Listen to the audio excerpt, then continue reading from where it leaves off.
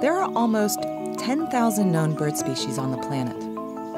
How did they evolve into so many unique forms? Take the birds of paradise, for example, with their dizzying array of colors, shapes, and sizes. From genetic evidence, we know that the ancestor of all 39 species was a plain crow like bird. And the process that caused this one species to split into many is called speciation. Before we explain speciation, let's talk about what we mean when we use the word species. According to the classic definition, species are groups of actually or potentially interbreeding natural populations which are reproductively isolated from other groups. Speciation begins when groups become separated in space or become different enough in form and behavior that individuals from one group no longer regularly mate with individuals outside the group. One way for a new species to evolve starts when a few individuals colonize a new area that is outside their native range. Take, for example, a volcanic island that rises out of the sea just off the coast of the mainland. Over millions of years, as the island grows larger and less volcanically active, plants begin to grow, but there are no birds here yet. Then one day, birds from a common species on the mainland are blown over by a storm and start a new population. If these birds move between the island and the mainland only rarely, the conditions for reproductive isolation are set, and the brand new island population is on its way to becoming a new species.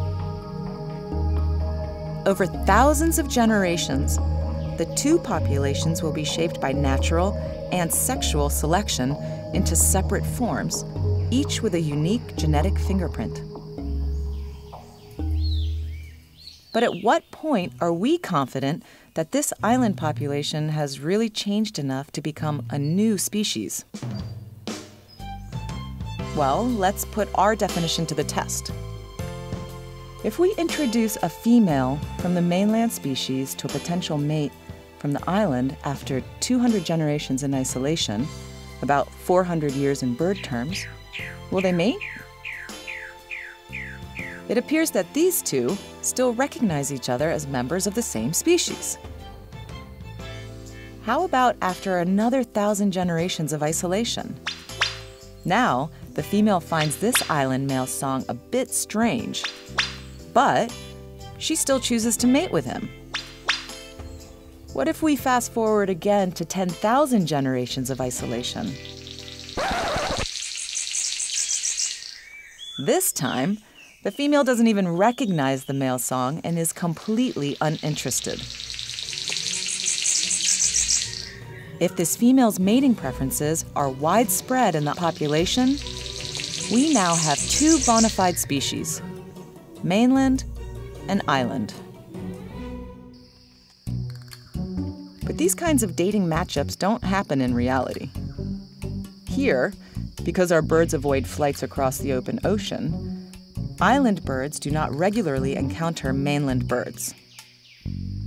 Because genes from the two populations no longer intermix, genetic differences accumulate, and the two populations become different species. So, in practice, scientists classify species separated in space by their genetic differences, not by observing blind dates.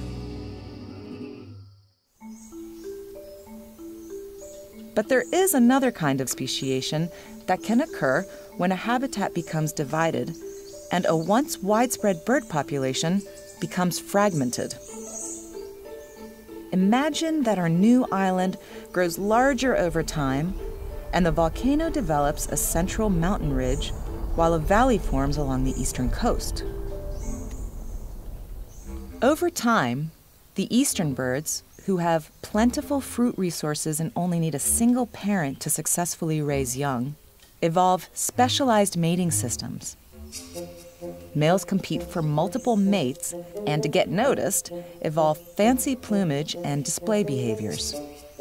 On one side of the valley, the males evolve elaborate head plumes, and on the other, it's the tails that get fancy. At the same time, Western birds are consistently dealing with harsher food conditions and do not evolve a specialized mating system or fancy feathers. Just as before, early in the speciation process, when individuals from isolated populations meet, our eastern and western birds readily mate. But as generations pass and the eastern males become fancier, the Western females begin to find the Eastern male's habits foreign and surprising. But these traits are clearly not deal breakers. Even after 10,000 generations of geographic isolation, some of the Western females continue to find the male's displays attractive. At this stage, the eggs she lays aren't viable because the separated populations have evolved too many genetic differences to be compatible. To review, in this kind of speciation, geographic barriers have split the habitat into three fragments, and on each, a unique species evolved. What if the southwestern slope erodes into a low peninsula allowing southeastern birds to mix with the western birds. By this time, their mating systems are completely different, and the two species can't create fertile offspring. Now, related species can coexist, but because they no longer successfully interbreed, there's no going back.